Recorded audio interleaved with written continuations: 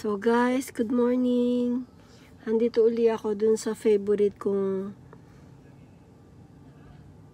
farm plant. Hmm. Mag-check ako, baka meron na silang Philodendron Princess saka yung sinasabi nilang White Princess. Tignan ko rin yung price niya.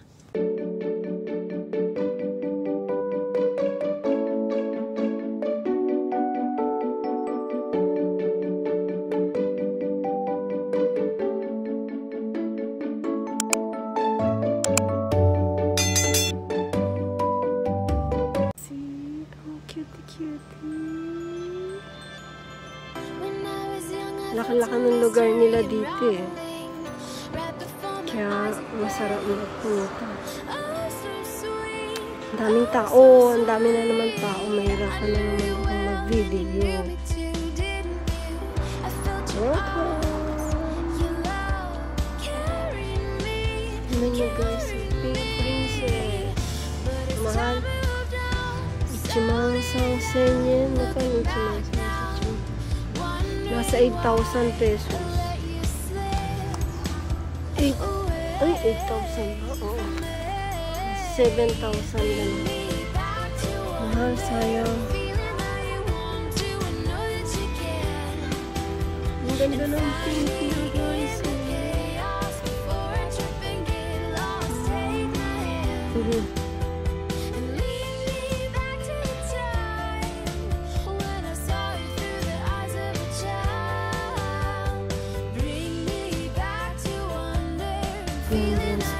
Spanish yan. Meron parang ano. Ay, naririnig mo ba ako? Ito, isang lapad. 4,800. Pink princess. Pero mas maganda yung pagka-pink. Eh? Oh, basta yung pagka-pink.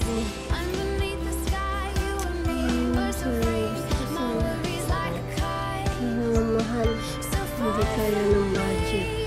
So, Nagbo-birkins na lang kaya ako. Huh. Salon gold leaf. Ang laki-laki ng dahon. See? Ano yung dahon? Ang healthy. Green princess din. Mas mura siya.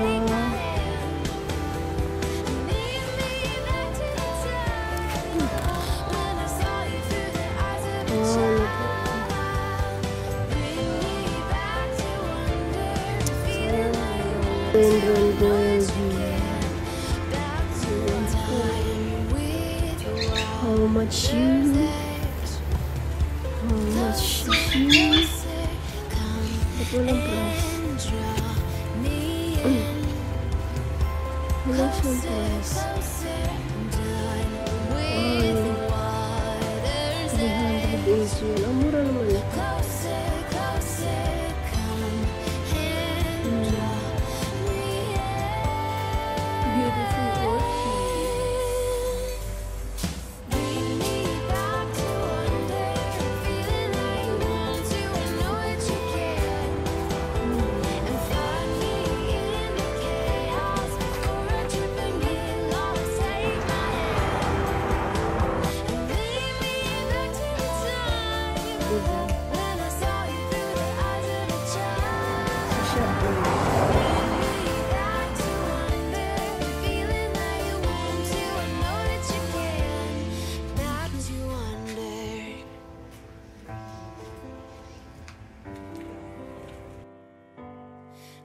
To wonder. cute, maliit na. Village.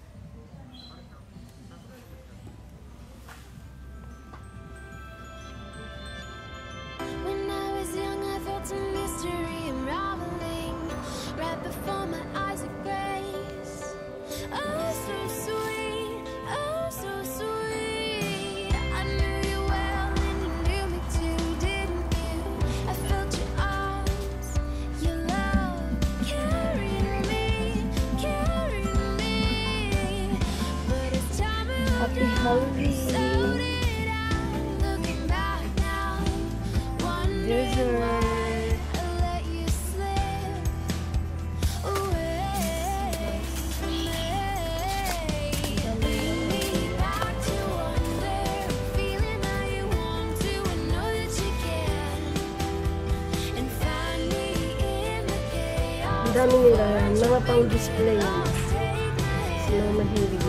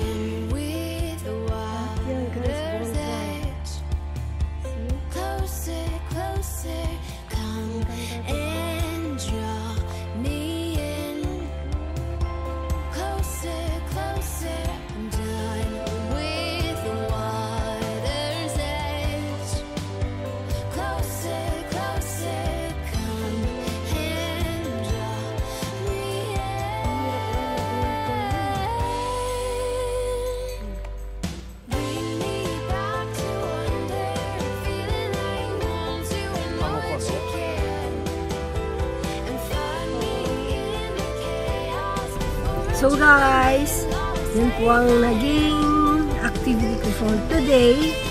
Nakapunta po ako doon sa mga gusto kong puntahan na halamanan na farm plant. And, see guys, nakabili ako ng White Princess. Ah, 3,800 yen. 1,700 1,700 pesos. Yung Pink Princess eh super duper mahal. So maghihintay uli ako next year ng May. Maghintay ako ng mga maliliit pa lang yung plant. Kasi ang laki na niya eh. Kaya hindi pwede ma... And thank you kay Habibi dahil pinag-drive niya ako ng malayo. Layo rin kasi from house. See, ang ganda niya. Meron siyang half moons. Tapos meron na siyang palabas na bagong So, thank you guys. Thank you for watching. And God bless. See you again. Thank you for watching guys. Arigato. Salamat po.